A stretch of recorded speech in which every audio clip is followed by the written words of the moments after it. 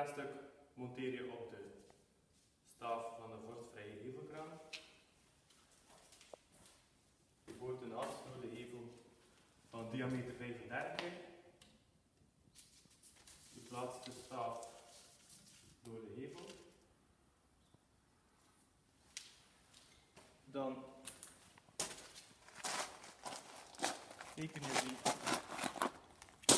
buiten gelijk af met de muur, met de hevel. Ik doe dit met de mes.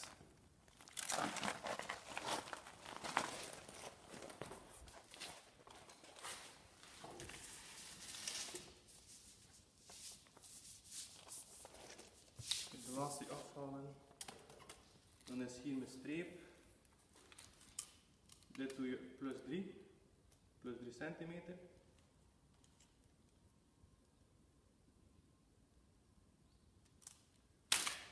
En hier slijp je die mooi recht af.